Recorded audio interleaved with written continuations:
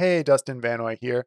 In the past, I did a video on how we take our logs from Azure Databricks and get them into Log Analytics.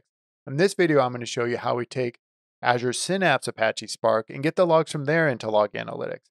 Uh, it's a lot simpler than it is with Azure Databricks to get it configured. I'll walk you through just really quick how do we create a Log Analytics environment? How do we take those values that we get from there and get them set up in the Spark configuration so that Synapse knows where to send those logs? And then we'll do a little bit of querying and even uh, creating our own custom logger and producing a few messages from PySpark. So hang with me and we'll get through this pretty quickly and you'll know how to do this in your own environment. Let's dive in. Let's go ahead and create a log analytics workspace real quick. And I will skip through as much of this as I can and just pop in some values here. I talk about this in the video I did in the past about Azure Databricks. You could always go back and watch that if uh, it feels like I go too quick for you.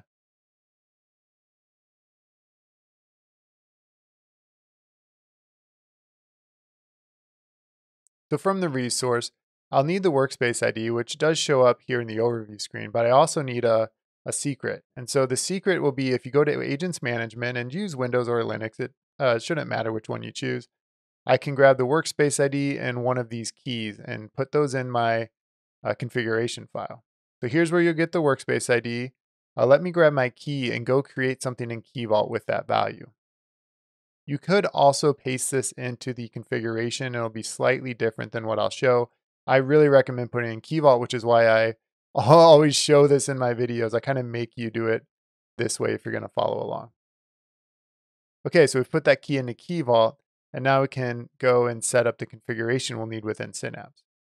So ultimately what we'll need to do is upload a Spark configuration that has these values assigned. Let me show you what that configuration looks like. So here's the configuration that I'll end up uploading to my Spark pool that I want to set this up for. And I could actually upload this to all of my Spark pools and have them right to the same place. That's perfectly fine. So there's a few things I need to replace here. And actually in this case, I used a, a different secret key than I normally would. And so I'll replace that as well. So uh, first I need to get grab that workspace ID that came with my log analytics workspace. Then I need to use my Key Vault name and my Key Vault link service name. So I always in Synapse have set up a link service Key Vault. It's not required, but it's probably what you'll end up needing to do. And so I just kind of assume you'll have one. So to fill in the Key Vault information, I can go to my link services, find whichever Key Vault I'm using and will want to put this value in. I can capture the Key Vault name from there, and then my link service name is going to be what shows up right in this screen, which is DimOKV. So I can replace that uh, Key Vault name. I can replace my link service name as well. And then finally, I need to set the correct uh, secret name. And so I actually switched it up this time. Normally, I just go with that. But instead, I'm using uh, this name this time. So once I have that, I'll go ahead and save it, of course, and then I'll be able to upload that to Synapse. From the Synapse screen, I'll go to Manage Apache Spark pools, find the pool that I expect to use, do the action button right here and choose Apache Spark configuration. From here, I can choose upload and now I just need to locate where on my machine I saved that file. Okay, I've jumped to that location and I'll go ahead and upload. Once that's done, I'll go and start up a notebook that is attached to this uh, pool and I should be in good shape from there. In this case, I didn't have an already running session, so I don't have to worry too much about whether or not my session's going before I, I set this up. Uh, if you had a session going, you may want to stop it and start a new one. That's usually what I would do just to be sure. So the notebook I want to work with, I need to choose the pool. I did Python custom. And I've already put in some of this code so that we are ready to go.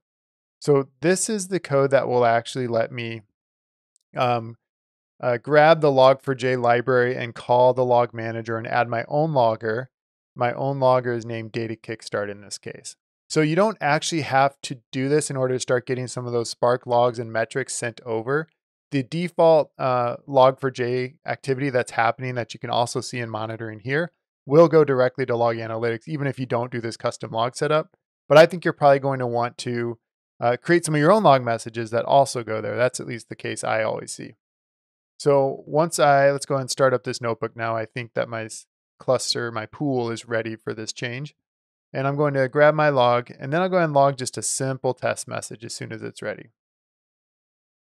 While we're waiting for that, let me go show you uh, what Log Analytics Workspace looks like right now. So from my workspace resource, I can go to logs, collapse some of this, and we'll see um, kind of the default setup here. So the default setup is I have nothing.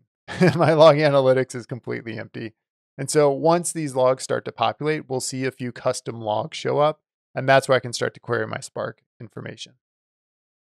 So I'm not an expert in exactly how this all works, but I do know that if you go look in the logs, you'll see information about the Python uh, PySpark logging that it's been set up. And right around there, you should see a message that indicates it has set up your log analytics workspace. And so that's a sign that it, it should have worked. And from there, it's a matter of just waiting, especially that first time, waiting a little bit of time until it shows up as, as a table in your log analytics workspace. Once that initial table shows up, my experience is that, you know, if you give it, you know, five, ten seconds, maybe sometimes a little more, your logs will flow pretty quickly. Um, but that first setup usually takes a little bit longer, maybe minutes. Uh, it's hard for me to really say what takes so long to get it to show up the first time.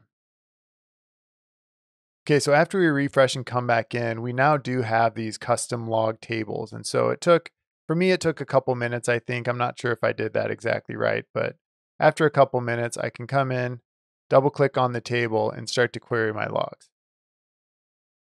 So what we see is every type of log that's part of uh, the log4j uh, setup. And within that, I can start to do some querying. And so I have other videos about how do I use KQL to query logs, and I try to go a little more in depth.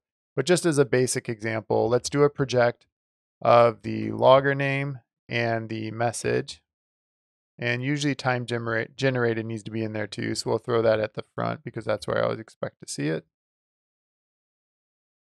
Autocomplete sometimes works. There we go. Now if I run this, I've just kind of narrowed down the list of values. It's a little easier for me to see. And I could apply a filter that says where logger name contains. Uh, what was my terminology? I think I used my typical data kickstart, which is my uh, training series stuff. I always name data kickstart. So once we apply that project and that filter, I'm down to just the bare minimum info I care about for the custom logging that I'm doing. Let's go ahead and send another message that's JSON and take a quick look at parsing JSON just so that you know that that's available for you. And now we can actually run some JSON logs. And so if we were to do this, usually we have this actually wrapped in a library. Maybe I'll, sh I'll show more about how we recommend doing this in the future. But as a simple example, if I create a Python dictionary with a set of um, keys and values, so message, notebook, source data, destination data are my keys, and then the values are on the right. I can do uh, logger.info and then json.dump string. So that's going to convert my dictionary to a string and basically send a JSON string to my logger as the message instead of a plain string that's a little bit harder to parse. Now, if I go over to Log Analytics, I've um, got mostly the same query that I, I used to start with. To just look at my custom logs here. Now I can go and uh, say for the things that are JSON, let's do a little bit more with this. So what we'll do is we'll set some sort of column name. We'll just say J for now equal to parse JSON message. We've got we've got an extra column J now. next thing we can do is extend it to add some additional columns. It's kind of like a with column in Spark for those that uh, that do know Spark, and that's why you're here. So I can do something like source equals whatever my field was, J dot source data, and let's say notebook equals j dot notebook. And then we should probably have message set. So message equals j dot message. So now I have those added to my query. When I run it, I'll see that it has actually separated those out as their own values. And it's really easy for me to then filter on these things, um, see them very clearly without having to read through the whole string and try and visually understand what's going on. So that's just kind of the quick taste of parsing JSON and the power you have by kind of overloading that message field with some JSON. And then you would just probably need to wrap this in some kind of function to make it a little cleaner if you're going to do this all over the place. And that's pretty much how we've uh, done it on one of the projects I'm on. So there's our walkthrough of how we set up log analytics, how we get it configured so that our Spark pool within Azure Synapse will produce messages to it, how we get our own custom logger within PySpark and do log info messages, both uh, plain text or with JSON that will then parse with a little bit more complex KQL on the log analytics side. Hopefully that was helpful. Definitely drop some messages if you have additional questions on this, and I'll see you next time.